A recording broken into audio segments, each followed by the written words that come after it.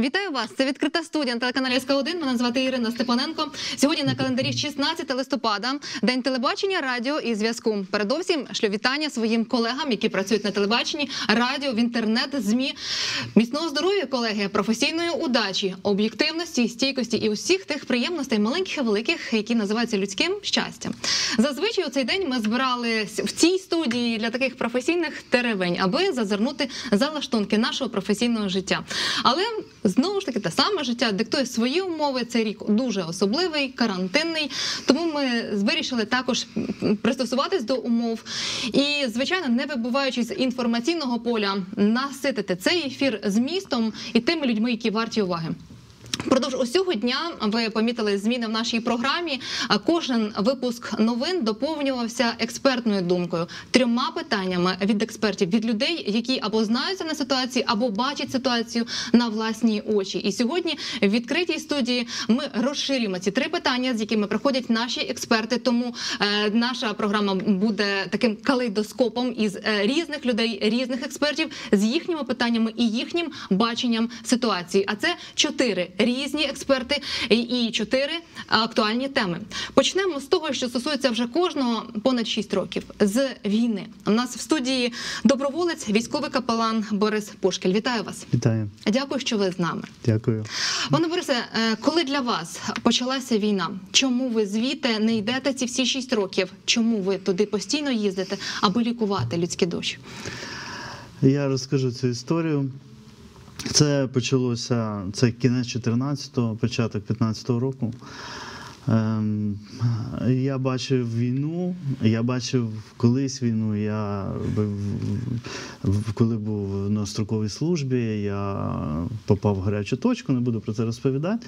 Але я знаю, що таке війна. І коли почалася війна, я, звісно, як священник, я пастор, я переживав. І в одну мить е, я духовна людина, і в одну мить я молився. Е, Це, було, це була ніч, і я почув від Бога в своєму серці такий посил, месендж. Е, Він сказав мені: я йду туди. Я йду туди, де смерть. Ідеш ти, підеш ти зі мною. Ну, звісно, я не зміг відмовитись, тому що я вже і готувався до цього.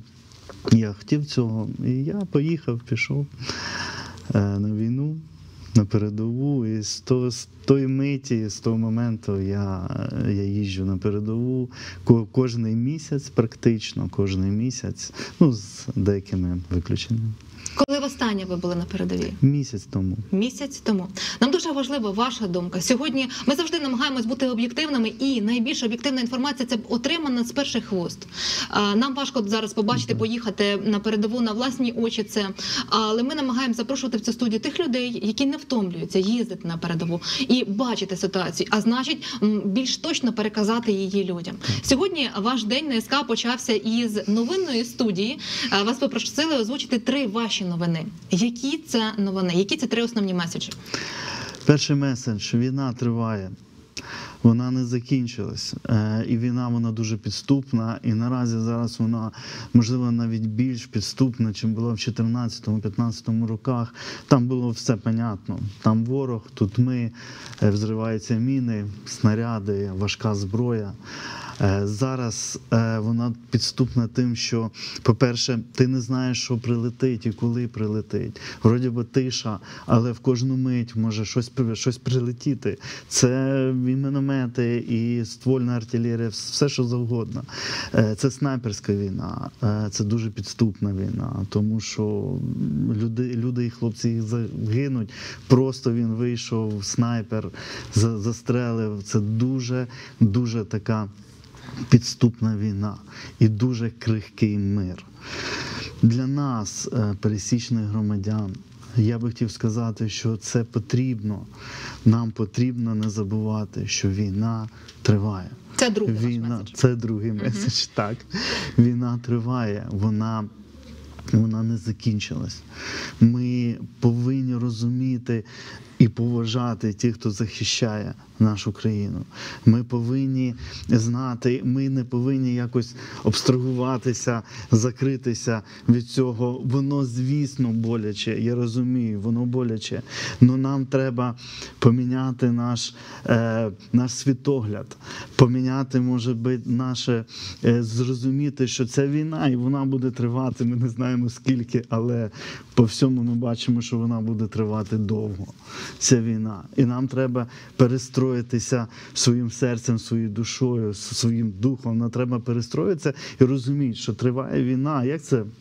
Наприклад, в Ізраїлі, в країні, де війна йде 70 років. І ми е, перше, що для нас, для пересічного громадянина, ми повинні, повинні поважати тих, хто воює. Для них це важливо. Е, ці Хлопці вони стоять за нас з вами. Вони кожен день, розумієте, кожен день вони рискують своїм життям. Неправильно казати, там вони там стоять, вони получають гроші. Вони не, получають таких великих там грошей, по-перше. По-друге, вони рискують життям заради нас з вами. Тому що ми не знаємо, коли, знаєте. Зараз вигідно е, Російській Федерації Путіну зараз вигідно, щоб був такий крихкий мир. Вигідно, тому що там п'ята колона і так далі. Не будемо глибоко залазити в політику. Але е, цей крихкий мир може розірватися в будь-яку мить, і кожен з нас може стати на захист України. І ми це повинні розуміти, і це ми, і ми повинні цінувати тих, хто зараз там.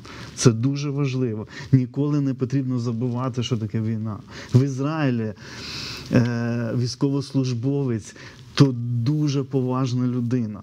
Військово, коли, коли йде військовослужбовець в Ізраїлі, люди встають. Коли йде військовослужбовець в Сполучених Штатах Америки, люди встають, поважають, бо вони знають, що ця людина платить ціну.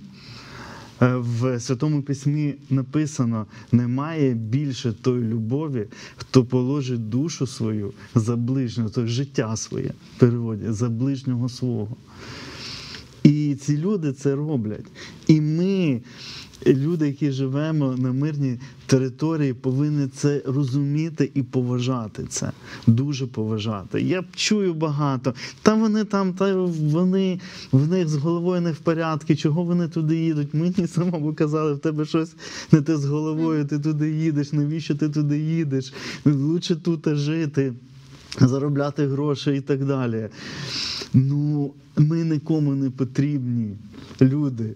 Зрозумійте, ми, кроме Бога, ми нікому не потрібні. Ми потрібні Господу Богу нашому. Дай амінь. Але ми більше не потрібні. Ми не потрібні в Польщі, ми не потрібні в Сполучених Штатах як без строки. Розумієте, ми потрібні нашій країні, наша країна потрібна нам. Ми повинні це зрозуміти, поміняти наш світогляд. Тому що ми кажемо про якісь європейські цінності. А звідки взялися? Е, подумайте, звідки ж в Європі взялися європейські цінності? Це може друге питання, ну я трошечки про це скажу. Звідки вони взялися? Я, я трошки вам розкажу е, з.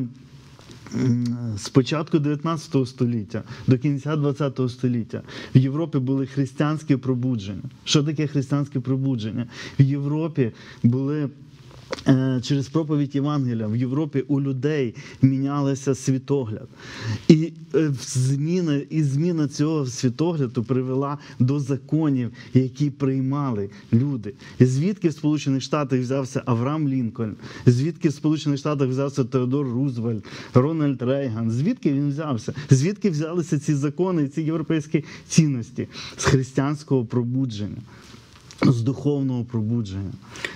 Дякую. У нас всього 15 хвилин Так, на да, розмову з вами. Дякую за вашу емоцію дуже щиру. А, Повертаємось до трьох меседжів, з якими Да. ви прийшли. Перша війна Так. триває, друге, як з цим жити? І зараз ви дуже емоційно про це говорили. І третє, який він?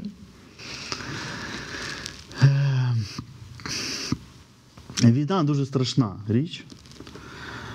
Е, Хлопці, звісно, привикли до цього, але війна то горе, е, то грязь, то кров.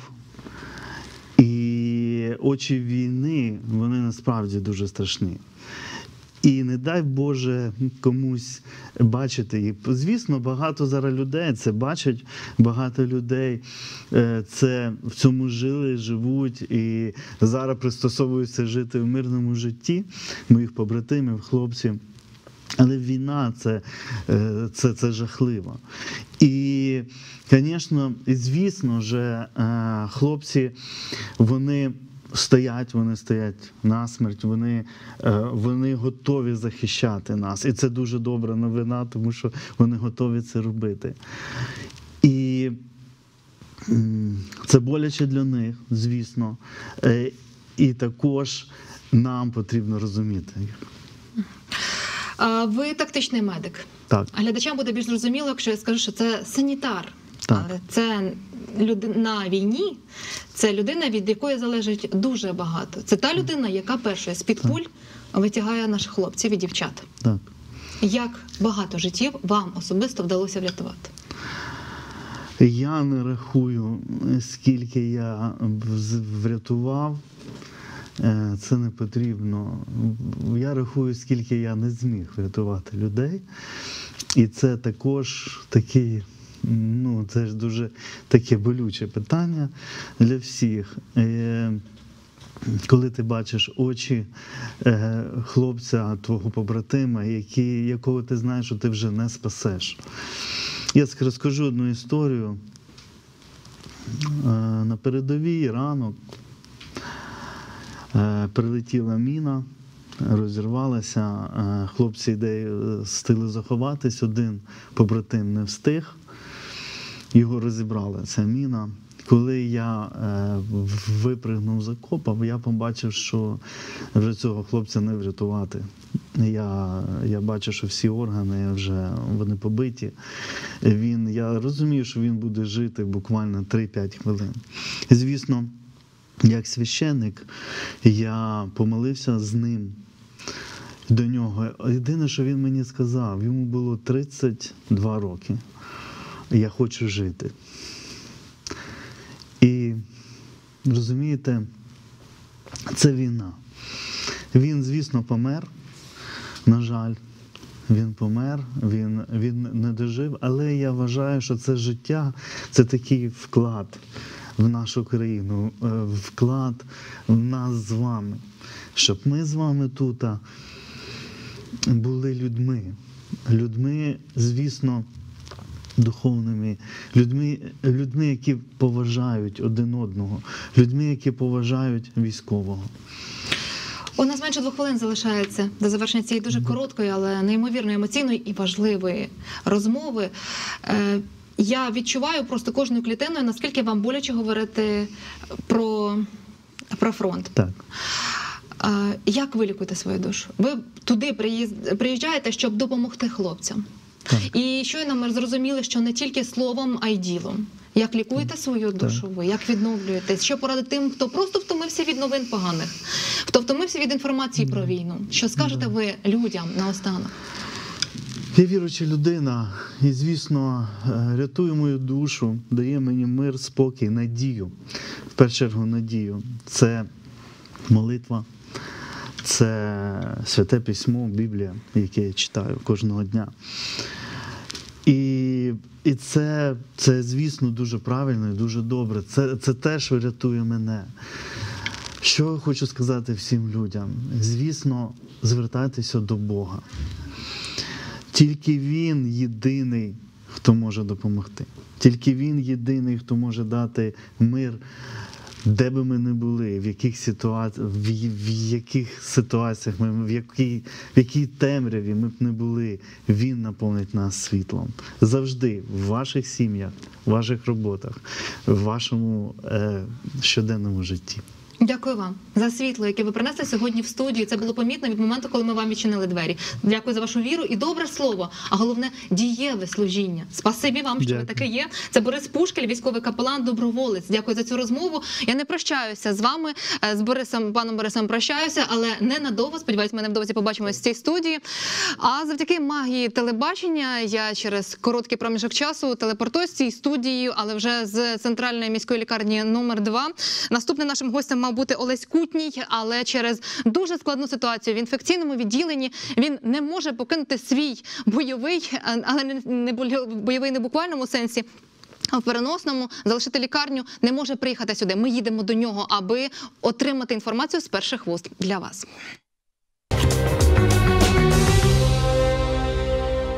Вітаю всіх, хто доєднався. Відкрита студія на СК 1 Магія телебачення дозволяє нам миттєво переміститися із студії. Нині ми знаходимося в міській лікарні номер 2 в умовно чистій зоні. Поруч зі мною колишній завідуючий кардіології. а Нині людина, яка рятує нас від інфекції, завідуючий інфекційним відділенням Олесь Іванович Кутній. Вітаю вас, Олесь Іванович. Добрий день. Дякую, що знайшли час. Розуміємо, що нині розкіш е, їхати до нас в студію. І спасибі, що ці півгодини ви з нами. Як почуваєтесь ви, лікарю? Добре. Е, Чи не хворіли ви на ковід? Е, Я на ковід перехворів, ну це вже е, пройшло чимало часу. Можна сказати, тільки ця вся історія ковідна починалася. Я перехворів в квітень-травень, скажімо так. Квітень-травень цього року. Олесь Іванович, які головні новини у вашому відділенні станом на цю хвилину ну, на 16 листопада? На ранок у нас зареєстровано е, 163 випадків, е, які знаходяться в нашому корпусі, і це е, е, врахуйте, що е, ми тільки сьогодні перший день ургентуємо. Тобто на кінець, на початок ургенції ми маємо 163 хворих, які в нас лежать на 200 ліжках. Сьогодні ми заходимо в перший день ургенції. Це перший самий складний понеділок. е, День. Це означає, що думаю, що за три дня ургенції, які ми будемо виконувати, ми доберемо до 200. Це перше, що хотів сказати. Друге, я хотів сказати, е, змінюється перебіг е, е, хвороби. За останні дві неділі ми спостерігаємо, що хвороба молодшає. Тобто ми, ми звикли, що це пожилі пори- хворі помирають там, з. Е, е, Випадки частіше і далі частіше стають молодих пацієнтів середнього віку. І е, ще хотів сказати, що за останній е, тиждень-два ми спостерігаємо е, те, що кількість складних випадків цієї хвороби стає більше. Ну і кількість летальних випадків збільшилась. Наприклад, якщо за вихідні тиждень назад померло е, в нас, е, е, я говорю, говорити про вихідні, бо ми дивимося по вихідних дуже часто. Про вихідні там за два дня два померло хворих, то за ці вихідні п'ять. Якого віку ці люди? Це різного віку. Звичайно, частіше це середні і, і середні е, е, більш старші, але я ж говорю, попадаються уже е, хворі, які 40-50 років. Звичайно, це, це є проблема. Кисень. Да, третя, третя особливість, звичайно, це кисень, якого не вистачало, і це глобальна українська проблема. Але е, є позитиви. Е, е, в чому позитиви? За сприяння міського голови у нас монтується бочка, яка буде вміщати 7 літрів, е, 7 тисяч літрів кисню. Звичайно, це вже зовсім друга ситуація, тому що цей кисень буде поступати без, скажімо так, без е, е, перепадів тиску. Бо якщо в нас там багато балонів ми маємо і, декілька кріоциліндрів, де один вони переключаються постійно, і е, вверх, е, вниз е, в трубах цей кисень, е, тиск падає, то тут буде стабільна подача кисню, і звичайно 7 тисяч літрів. Ви розумієте, це е, по нашим розрахункам це два тижні має вистачити. Ну навіть якщо на тиждень, але безперебойно. Але там е, ведеться мова, що е, компанія буде постійно е, приїжджати і довозити кисень, і постійно безперервно його в ту бочку закачувати. Олесь Іванович, перебої з киснем, про які ви згадували, чи шкодили вони здоров'ю? Чи вдавалось? Звичайно, кожний бе- кожний перебой з киснем, перепад з киснем, це приводить до того, що навіть цих там один, дві хвилини, три хвилини, це негативно впливає на нашого пацієнта. Звичайно. Є інформація про те, що кількість ліжок в вашій лікарні буде збільшено до 300, понад 300 ліжок буде розгорнуто. Чи буде збільшено штат? Е, Ну, звичайно, якщо е, під ці ліжка треба штат, як е, будемо викручуватись, буде видно, бо, звичайно, 300 на 305 ліжок зібрати персонал це досить буде, я вам скажу, складно і, можливо, своїми силами ми не справимося. Треба буде залучати додаткових спеціалістів ще на, на, на роботу на ці 305 ліжок. Скільки кисневих е, точок сьогодні розгорнуто, і наскільки вони збільшаться в після монтування цієї діжки кисневої? Е, я зараз точну цифру вона уточняється, але сьогоднішнього дня доставляються ще е, кисневі точки на другому поверсі в гнійній хірургії і фізіотерапії. Олеся Іванович, ви почали із сумної статистики, яка лякає. У вас починається лише три ваші ургентні дні. Місця у вас трошки більше 40.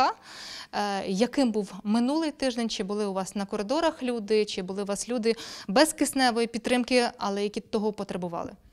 Е, Ну, звичайно, е, на коридорах люди в нас лежали, але поки що це не, не, дуже довго тривало, бо ми намагалися швидко виписувати додому хворих, які вже можуть йти самостійно на долікування, і е, хворих з коридора переводити в палати. Е, Тяжкість хворих, е, звичайно, по кисню. Е, Звичайно, перепади кисню є, але якщо навіть брати той тиждень, то якби якось ми викрутились. Да? Бо ще й приїхали, приїхали до наші кисневі концентратори, які теж нас спасли. Тобто це спеціальний прилад, який може виробляти, е, виробляти ем, кисень. Але, звичайно, це е, не той поток, не та швидкість кисню, який ми маємо, е, кисень, який йде по трубах. І ми якось той тиждень перетягнули. Да? Хоча були трудності, жили ми в економному режимі, старалися, ходили, дивилися, кого ем, треба раніше зняти, кому менше дати, але так пережили. І перейшли на цей тиждень. На цьому тижні ждемо запуск, звичайно, е, е, великої цієї бочки на 7 тисяч літрів. Е, Це, звичайно, вирішить наші проблеми. По-перше, не буде, по-перше, це безперебійне постачання буде кисню. По-друге, не буде перепаду тиску. Бо, звичайно, коли перекручуються балони, міняються балони, це сприяє перепаду кисню в системі і падіння в системі е, тиску, е, тиску. Так? І це так само негативно е, відображається на наших пацієнтах.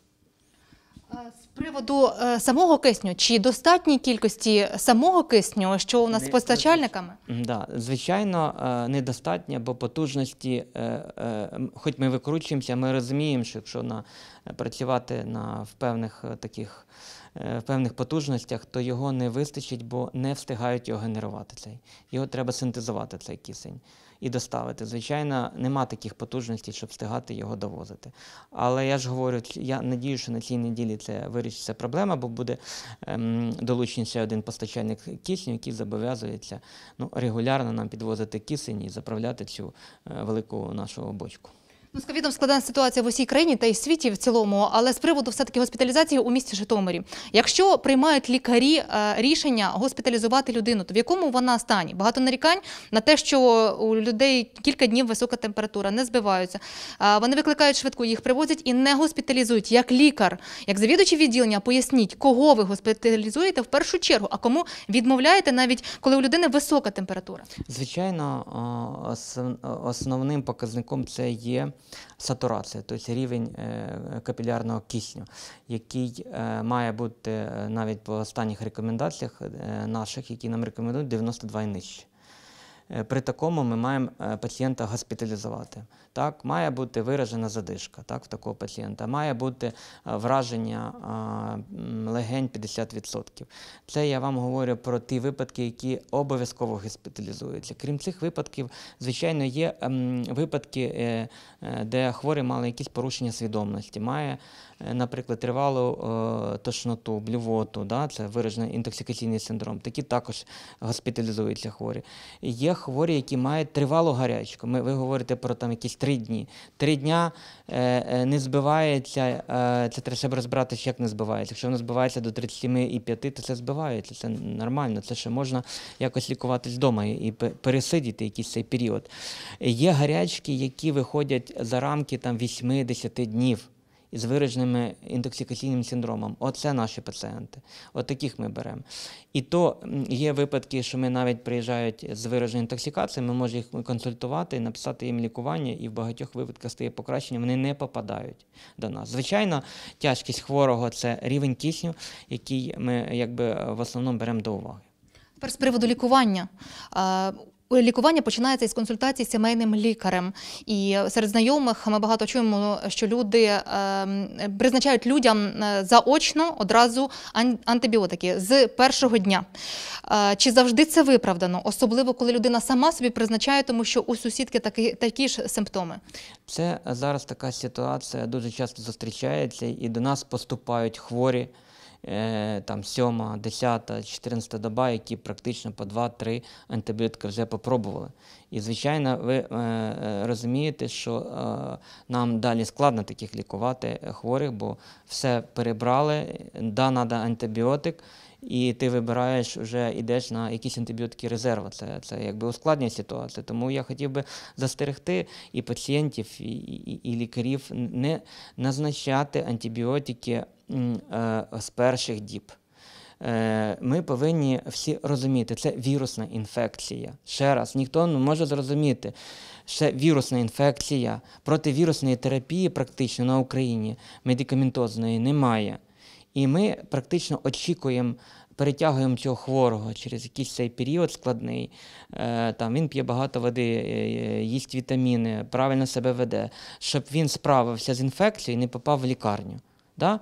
Але антибіотики додають, е, мають додатися, коли до, е, підтверджена або є підозра, що до вірусної інфекції, до COVID-19, причепилась ще бактеріальна інфекція. Оце антибіотики.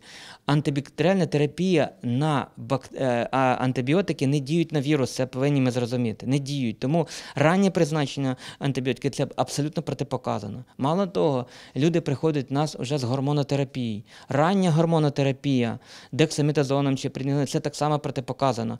Бо в перших 7 днів іде розмноження вірусу. Якщо ми даємо гормони так рано, е, е, ці гормони, е, скажімо так, зменшують резерви організму, зменшують імунітет, е, е, е, появляються приховані форми.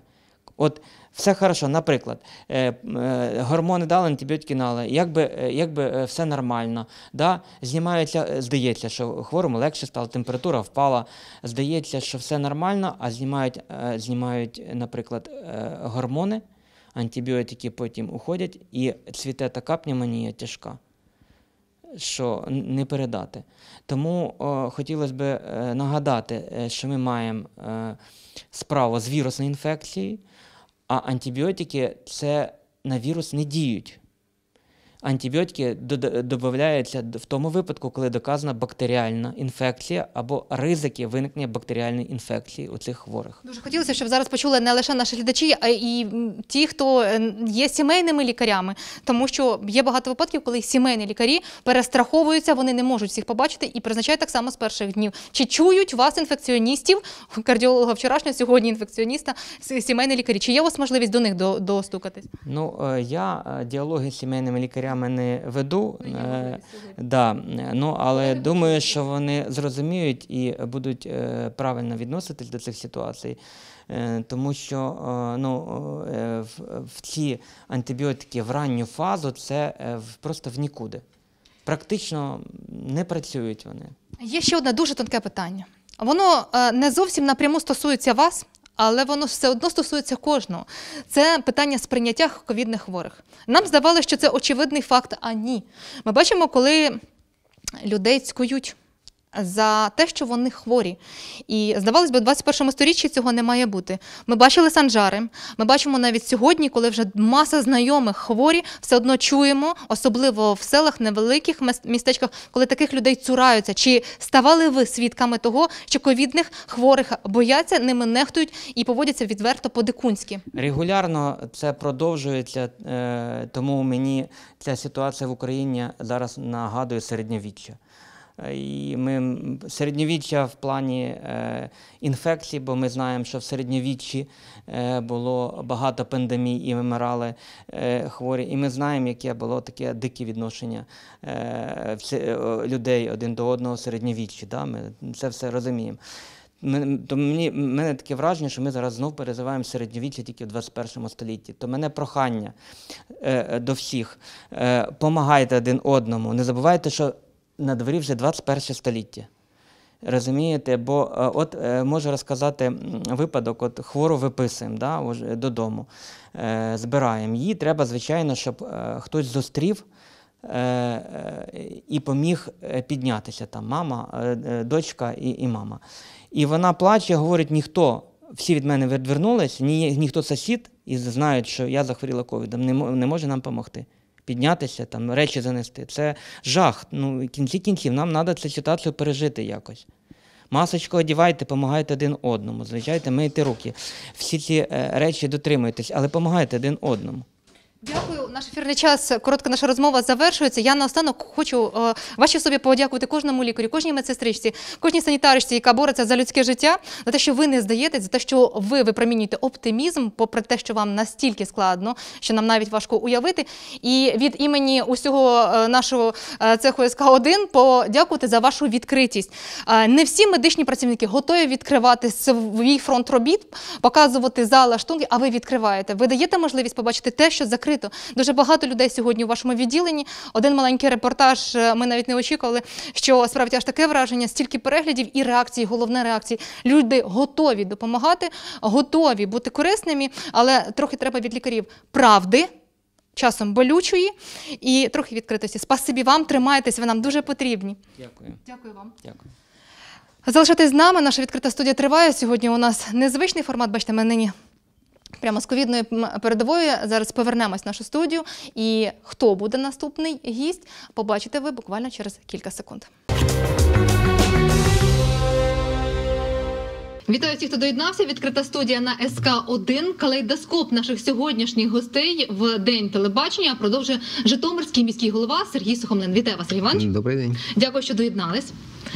Дякую. Перед вами був капелан. Е, У нас було пряме включення із е, другої міської лікарні. Зараз ви щойно ми чули ваші новини. Сьогодні нагадаю тим, хто дивиться лише відкриту студію. Сьогодні незвичний формат, і усі випуски новин години е, доповнювалися експертами і їхніми трьома новинами. Е, Сергій Іванович говорив про ковід, про локдаун вихідного дня. Ну і вітав журналістів. Сергій Іванович, хотілося б зосередитись на першій темі, в якій живемо ми усі. І щойно говорив лікар. Ми чули статистику. Е, найбільше турбує ситуація, на яку ви можете вплинути як міський голова. Це на рівень забезпечення киснем. Яка ситуація по першій лікарні і по другій? Е, По першій лікарні, ну дійсно в мережі була інформація, те, що е, нема кисню в першій лікарні. Ну це неправда. Е, Кисень є, і на сьогодні на ранок перша лікарня забезпечена киснем на 6 днів роботи. Е, Кисень є і в кріоциліндрах, крі- кисень є в балонах. е, Вони кожен день поповнюються, і на відповідальне зберігання в компанії, яка постачає кисень, знаходиться ще запас е, кисню для першої лікарні. Е, Ситуація така: дійсно була технічний збой по першій лікарні. На от після чого з'явилася така інформація, що кисню нема, нема коли фактично перемерзла система е, постачання кисню. Ну це технологічні моменти, і е, прийшлось переключати цю систему на звичайний кисень, і е, воно вже е, зразу виправили цю ситуацію. Тому кисень є, тут нема чому турбуватися. Я не кажу, що з киснем нема, нема проблем в країні. Дійсно, ми бачимо, що компанії, які постачають кисень, вони перевантажені і можуть бути проблеми з киснем в майбутньому. Але сьогодні ми в другій лікарні м, показували журналістам, яку, який кріоциліндр вже побудований, збудований, і це забезпечує другу лікарню запасом кисню. Один такий кріоциліндр забезпечує на тиждень роботи другої лікарні е, киснем всю лікарню. Крім того, там ще є малі кріоциліндри і є запас кисню в балонах.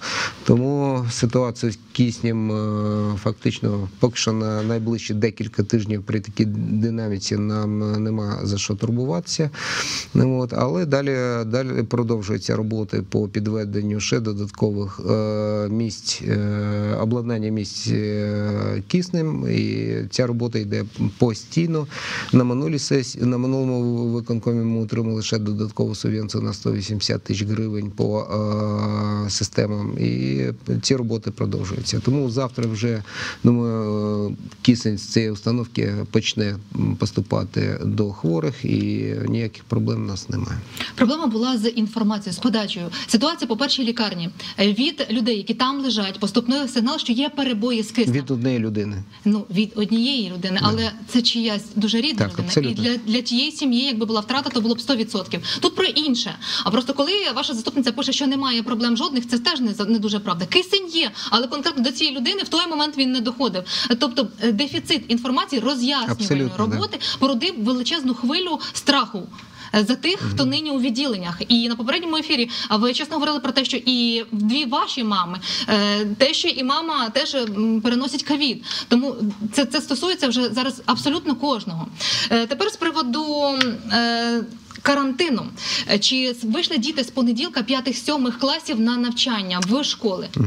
Е, Діти не вийшли. Ми будемо це рішення приймати, я думаю, середині в кінці цього тижня, коли е, протестуємо працівників шкіл на наявність антитіл. І після цього вони будуть приймати рішення, виходити чи не виходити п'ятим-сьомим класом на навчання.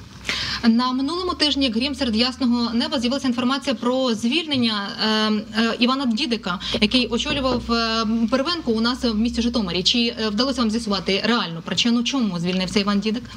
Ні, ще ні. Е, Він написав заяву на звільнення. В нього ще два робочих дні. Е, Я думаю, що ми ще поспілкуємося з ним на цю тему.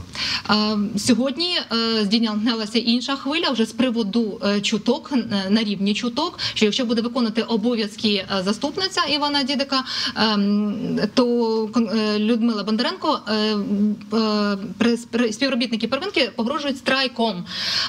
От ми вже чули десь це. Це дуже нагадує березень. Мені особисто нагадало ситуацію березня місяця. То стосувалося першої лікарні інфекційного відділення. А ваші дії? Ну, перш за все, я е, ну, ніякого рішення там по призначенню когось ще виконуючому обов'язки не приймалося. І це чуткі. І люди, які написали це звернення, вони написали це анонімно.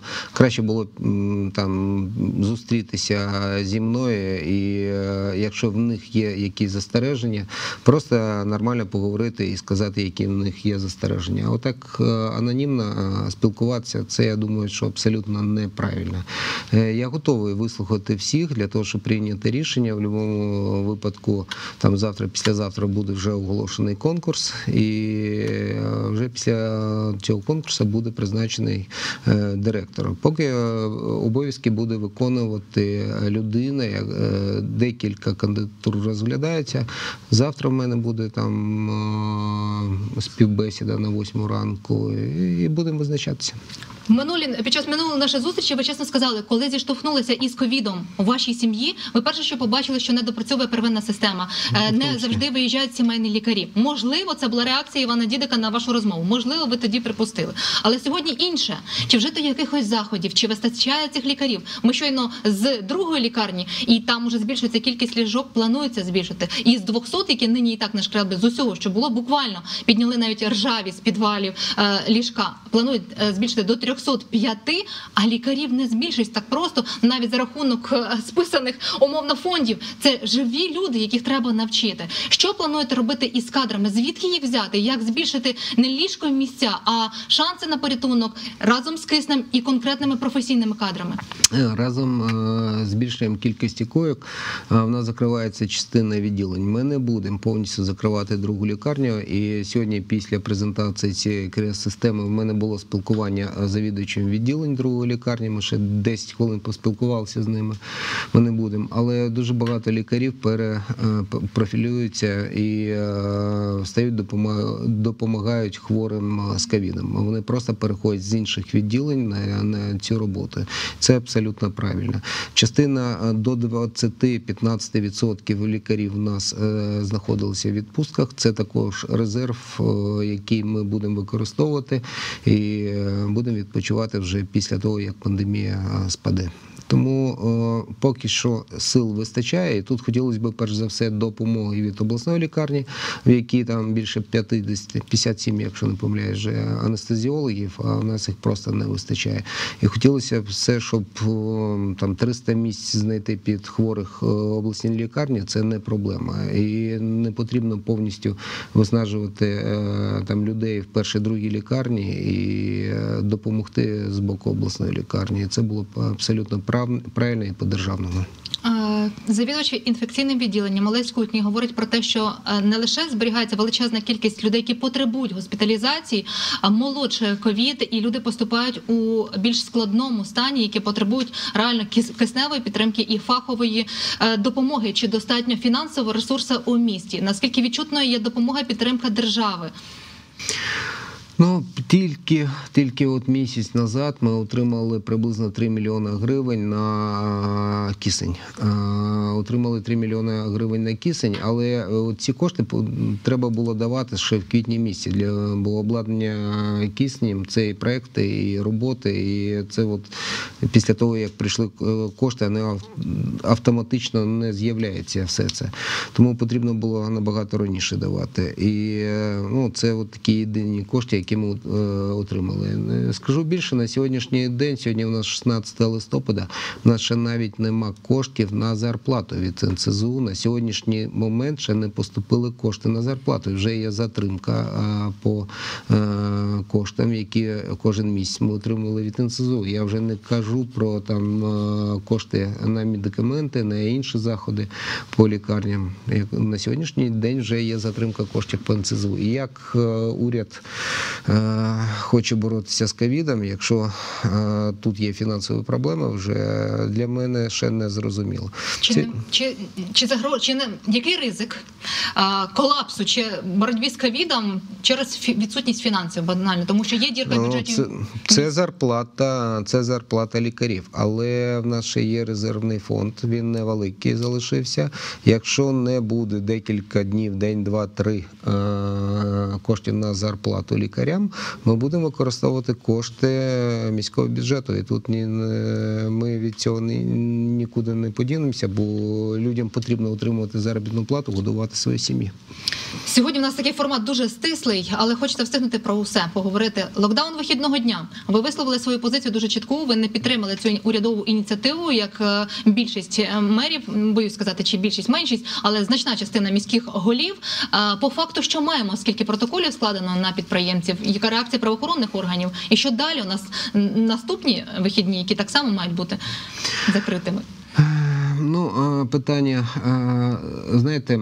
е, Якщо не помиляюсь, декілька тижнів назад в Верховній Раді було проголосовано про створення такого координаційного центру по боротьбі з ковідом, який е, мав е, очолити президент України.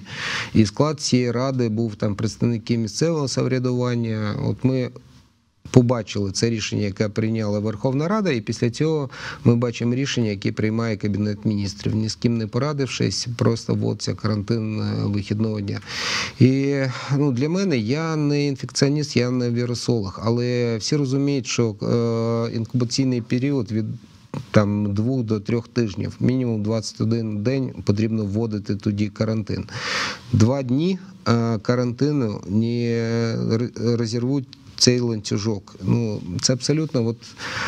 Ну, приводили приклад. Єдиний приклад, який е, привели, коли вводили, от Ізраїль вів е, такий локдаун вихідного дня, зробив, і це там Ізраїлю щось допомогло, але ну, це ще питання допомогло. Але Ізраїль Ми, ми знаємо, що це за держава, в них шабат, е, субота. Нічого не працює, транспорт майже не працює. Вони постійно живуть в таких умовах вихідного дня суботи. І для них е, це абсолютно нормальне рішення.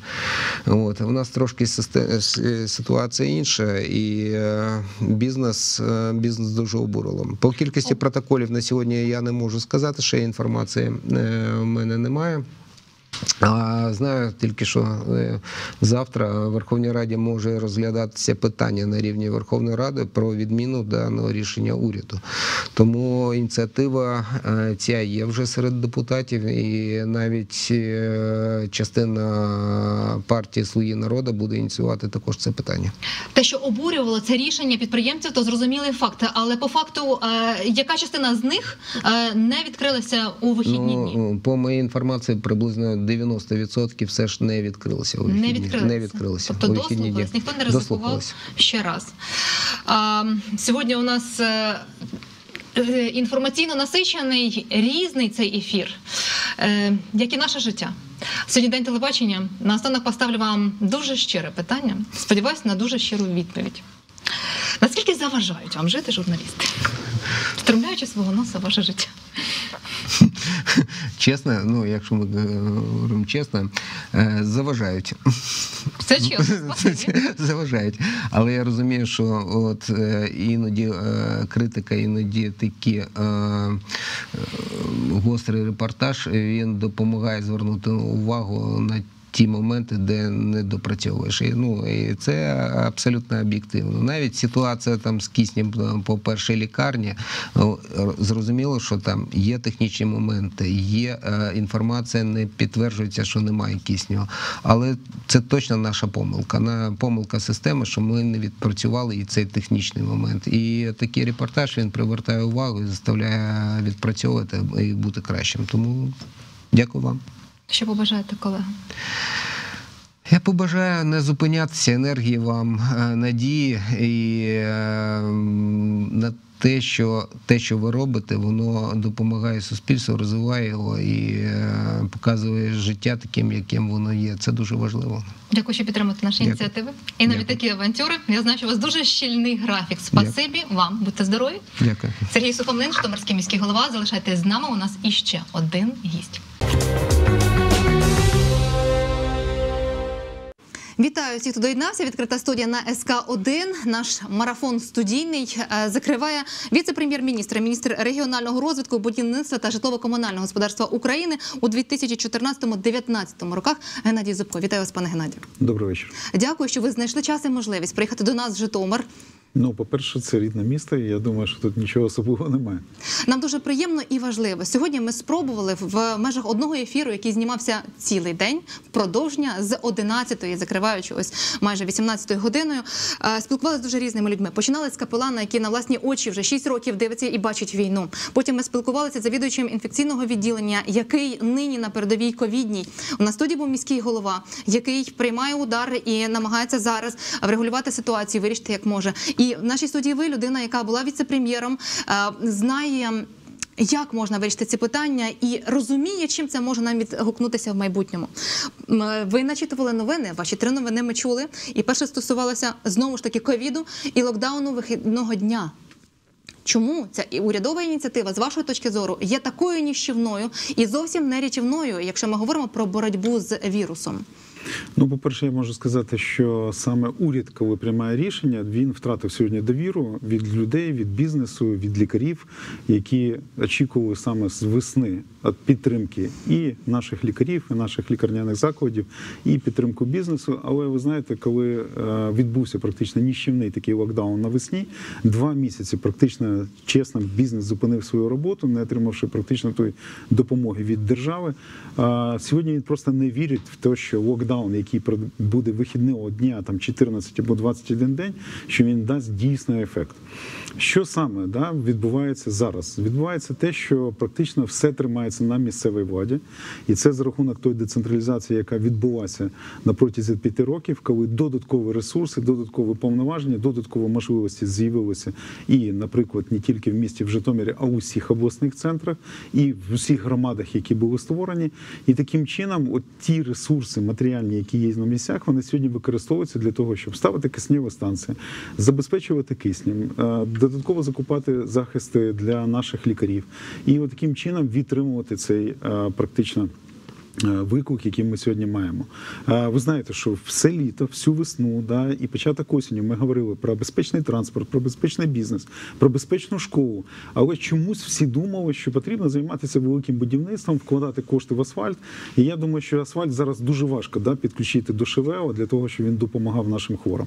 Що що саме нам важливо зараз говорити, і що нам зараз потрібно не в- е, роблячи паніку, а робити. В першу чергу нам потрібно думати потрібно про додатковий захист наших лікарів і медичних працівників. Це той е, мінімальний ресурс, який в нас залишився, тому що якщо ми побачимо статистику, то біля 500 лікарів по всій країні сьогодні хворіють на ковід. І да, те, що практично може скінчитися раніше ніж кисень або якісь засоби захисту, і тому потрібно зараз вводити додатковий захист, підтримку, мотивацію лікарів для того, щоб можливості вже тих, хто працює е, в екстреній допомозі, переводити в відділення, тому що вони знають, як рятувати, допомагати людям, анестезіологам, е, тих е, практично.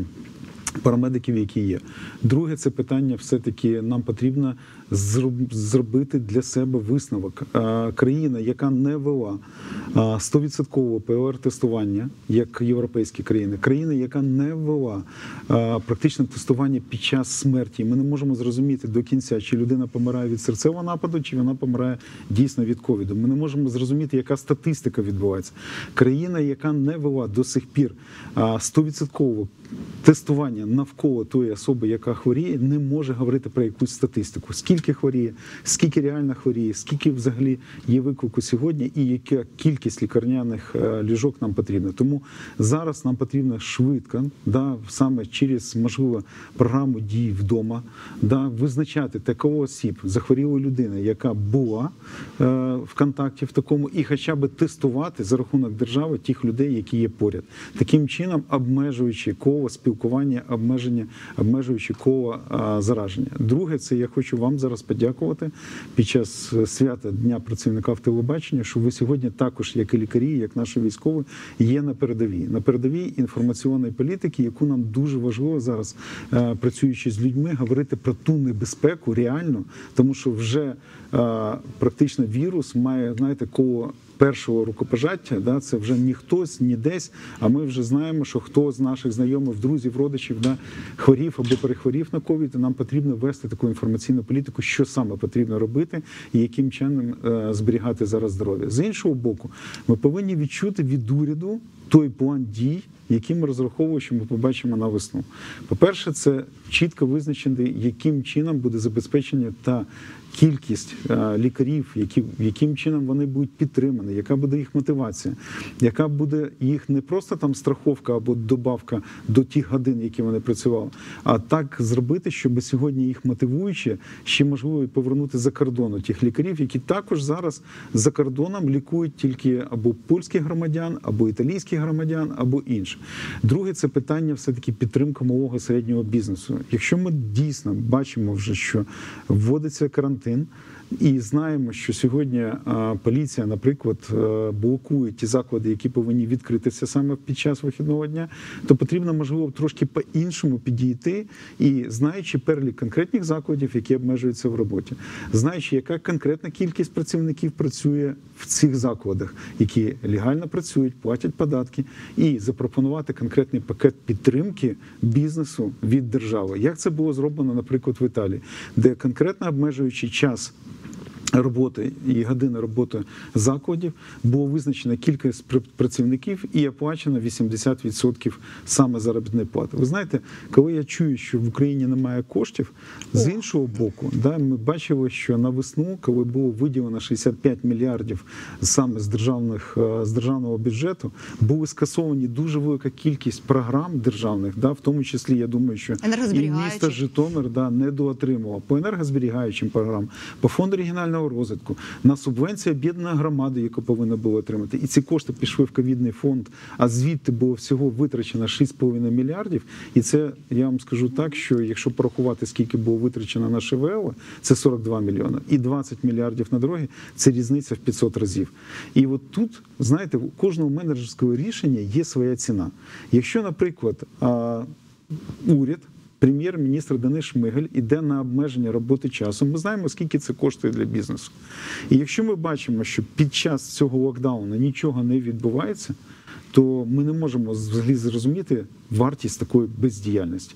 Чому рахує прем'єр-міністр Італії, коли він знає, скільки погодинна, що йому потрібно заплатити 12 євро кожному працівнику за компенсацію робочого часу, кожному ФОПу, який не відкрив свій заклад в на протязі локдаун, потрібно заплатити 3 тисячі євро. І він чітко знає, скільки йому обходиться година такого локдауну по країні з державного бюджету. На жаль, наші менеджери цього не рахують і в той же час не витрачають ті кошти, які були надані е, Верховною Радою для того, щоб максимально підготуватися до другої хвилі. То ресурс є фінансовий в країні, аби компенсувати ці затрати, які несуть сьогодні е, бізнес і не тільки. Ви знаєте, я думаю, що завжди ресурс є.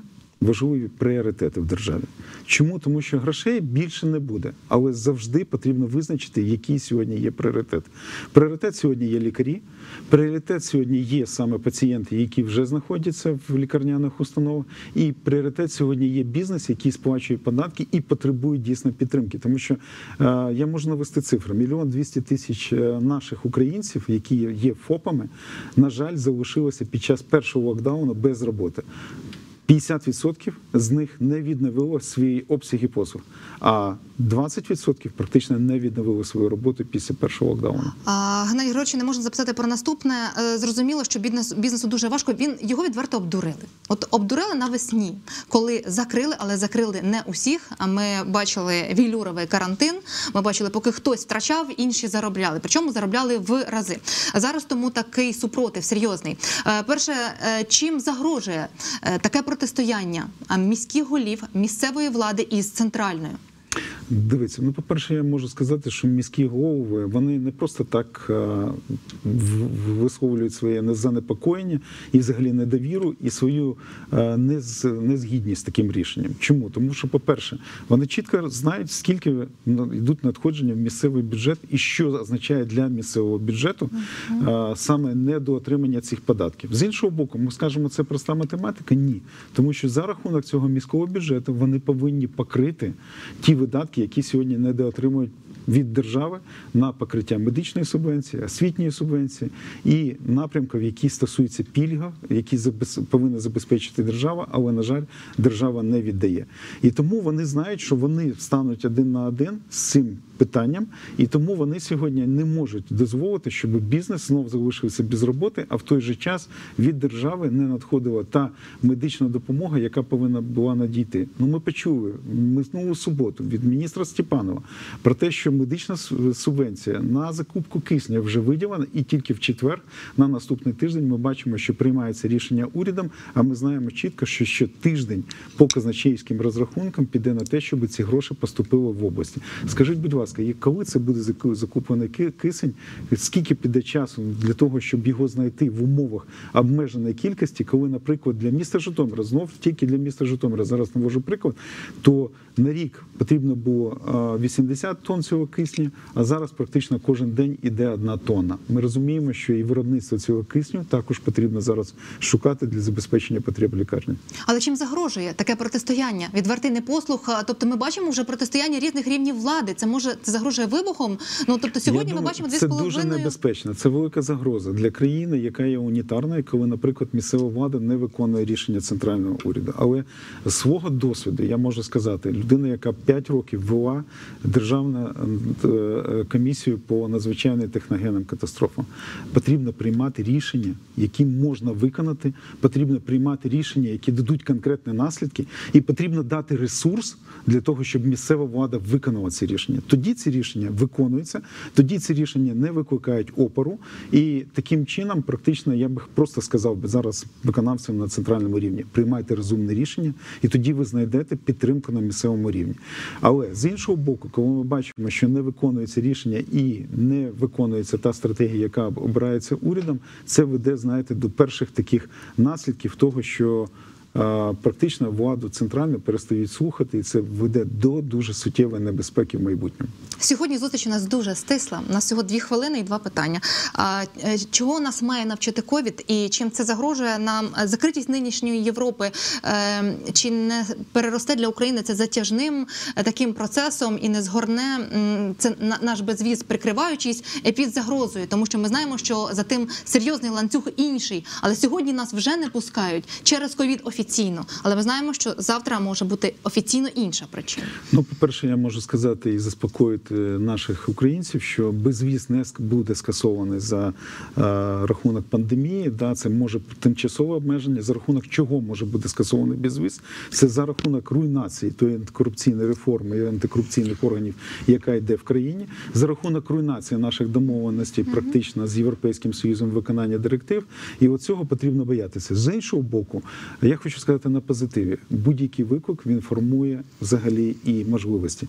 І тому зараз, коли ми бачимо, що можливо не поступає якісь імпортні товари з Європи або з східних країн, ми можемо розвивати і створювати робочі місця і залучати інвестиції за рахунок того, що сьогодні не таке перетікання йде людського ресурсу. Ми повинні запропонувати нашим лікарям не їхати з країни, а запропонувати їй гідну оплату праці. Тому в кожному такому випадку потрібно шукати не тільки виклики, а й можливості. Дякую. Останнє запитання. Сьогодні день телебачення радіозв'язку. Наскільки дошкуляють вам журналісти, змушуючи обирати секс, наркотики чи рок-н-рол, і не тільки провокуючи кожного разу? Ну, по-перше, скажу, що е, ще раз ви дуже великі молодці, тому що ви працюєте сьогодні також на передньому фронті, і цей фронт він називається, по-перше, боротьба з фейковими новинами, тому що масово те, що через соцмережі і через різні телеграм-канали заходять фейки, а телебачення сьогодні на першій місці, яке повинно мати правдиву інформацію.